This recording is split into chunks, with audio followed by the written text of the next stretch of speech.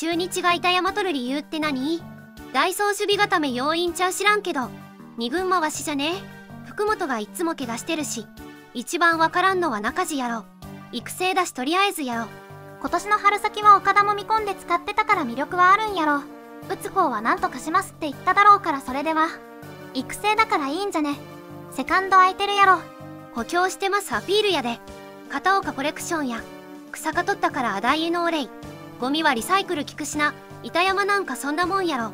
内外野守れる板山が育成で獲得されるくらいだし若林も限ドラ出したら需要は高そう。まだやれると思ってたからあとはなんとかしは以下で中日が雇ってくれることを願うばかり。高山も北条も守備面でバックアップになれないのが致命的すぎるな。